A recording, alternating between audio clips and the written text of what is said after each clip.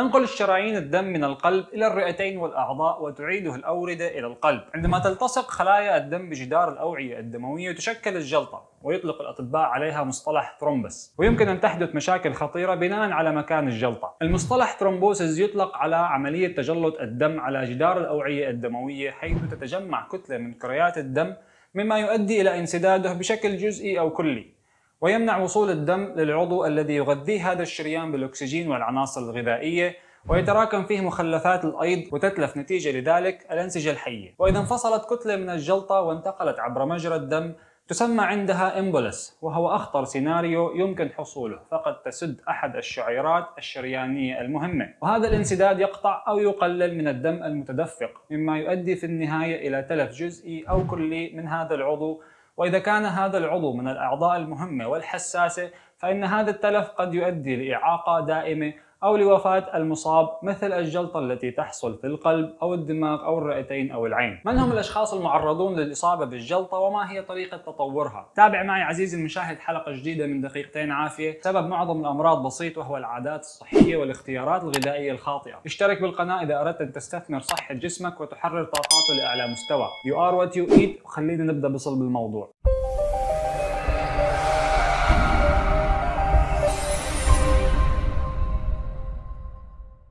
السلام عليكم مقدمكم الدكتور فارس عرب. الدم مجهز بشكل طبيعي بآليات تجلط تمنعه من النزيف تسمى coagulation factors. وأهمها هي الصفائح الدموية platelets الأنزيم بروثرومبين والبروتين السكري fibrinogen إذا أنت واحد من هؤلاء الأشخاص الأربعة فلديك عوامل تعرضك لخطر الإصابة بجلطة دموية. واحد كبار السن. حددت أبحاث في عام 2002 العوامل التي تزيد احتمال خطر تكون الجلطات. فبعد عمر الستين سنة تحصل زيادات في البروتينات السكرية fibrinogen وبروتينات التخثر الأخرى دون زيادة متناسبة في العوامل المضادة للتخثر anticoagulant ويحصل انخفاض في مثبط تراكم الصفائح الدموية. اثنين الشخص الغير رياضي.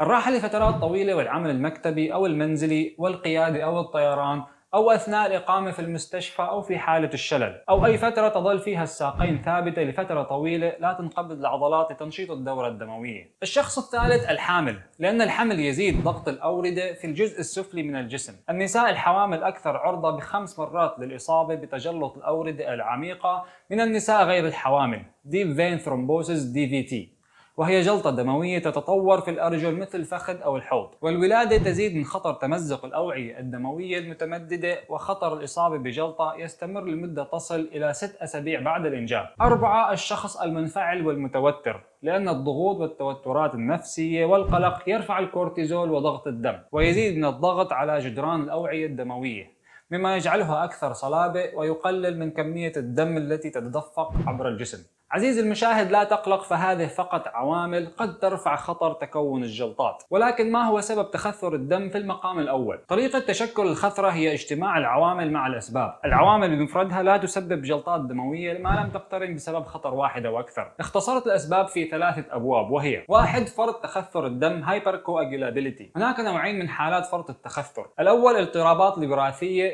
حيث يرث بعض الناس اضطرابا يجعل تجلط الدم لديهم أسهل. مثل الطفرات في الكريات الدموية كارتفاع عدد الصفيحات أو الأنزيم بروثرومبين والاضطرابات الثانوية مثل تلف الأنسجة وإصابات العروق من الجراحة والكسور والحروق أو موت الخلايا والسرطان ومرض السكري وارتفاع الإستروجين. اثنين إصابة البطانة الداخلية للأوعية. أي إصابة للعروق من الداخل تكشف أو تعرض الكولاجين تحت البطانة للصفائح الدموية وتفعل خواصها الكيميائية لالتصاق الخلايا. العوامل التي تساهم في إصابة بطانة الأوعية مثل ارتفاع ضغط الدم التهاب الأوعية الدموية vasculitis أو الصمامات القلبية valvulitis تصلب الشرايين بسبب تراكم الدهون في جدرانها الداخلية أمراض التهاب الأمعاء IBS أو التهاب القولون التقرحي ulcerative colitis والسموم البكتيرية والمواد الكيميائية من دخان السجائر والسبب الثالث الركود في تدفق الدم الطبيعي. الكارثة الكبرى في علم ديناميكا الدم هي ركود الدم. Blood stagnation أو blood stasis والذي يمكن أن يسبب إصابة البطانة للأوعية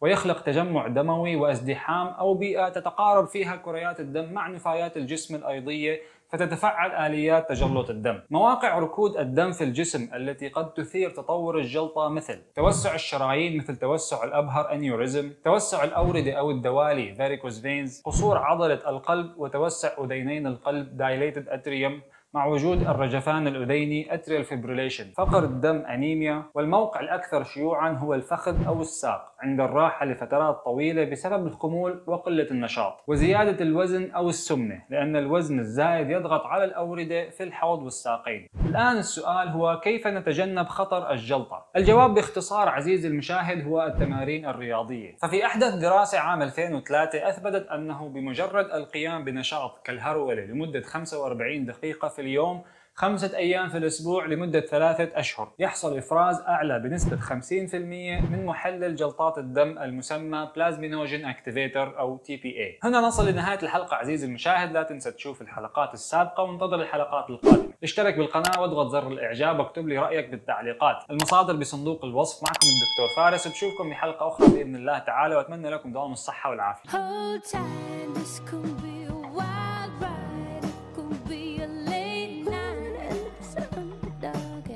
Gonna be the lucky one.